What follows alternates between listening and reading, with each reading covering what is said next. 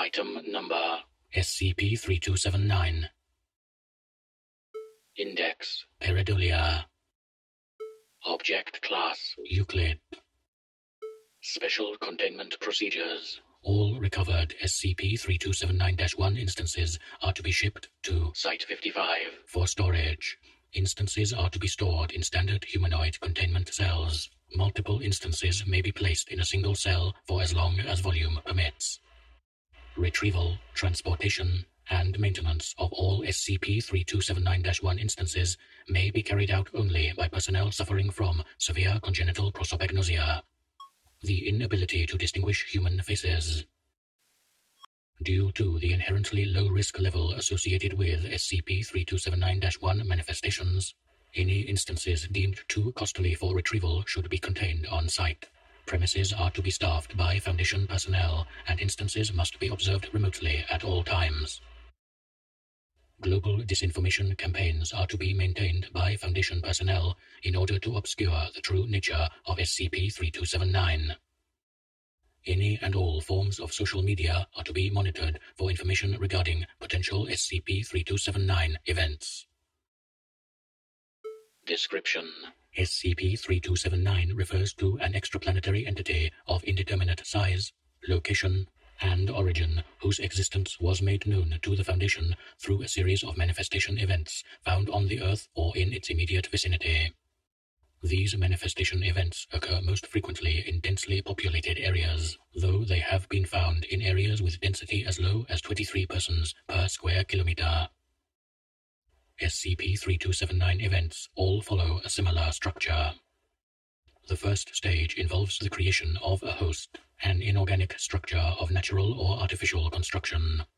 A variety of non-anomalous materials have been found to create suitable hosts. As long as the structure somewhat resembles the shape of a human face, a phenomenon colloquially referred to as pareidolia, SCP-3279 possession will occur. In this stage, the manifestation lies dormant and remains non-responsive to stimuli. The second stage of a manifestation event is the realization of the event by at least one person. Upon receiving human recognition, the host becomes inhabited by SCP-3279, resulting in an instance of SCP-3279-1.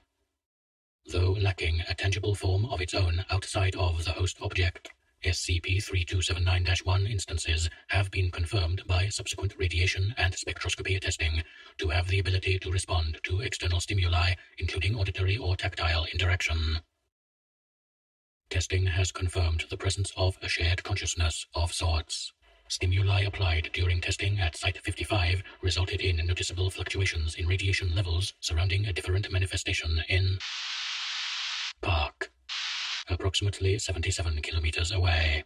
Continued testing has supported the existence of SCP-3279, with each instance of SCP-3279-1 being an extension of a greater whole. As of yet, no progress has been made toward locating SCP-3279, with the confirmation of at least one lunar manifestation event, designated SCP-3279-1-A. Probes have been sent to search the interplanetary system for SCP-3279. SCP-3279 was incidentally discovered during routine field testing of SCP.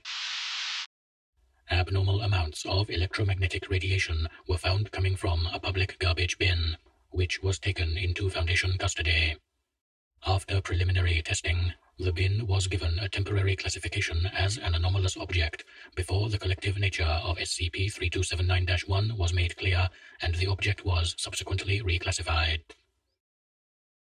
No attempts at communication with SCP-3279 or any manifestations have yet been successful. Prolonged exposure to SCP-3279-1 results only in a sense of paranoia with test subjects often claiming to feel like they're being watched.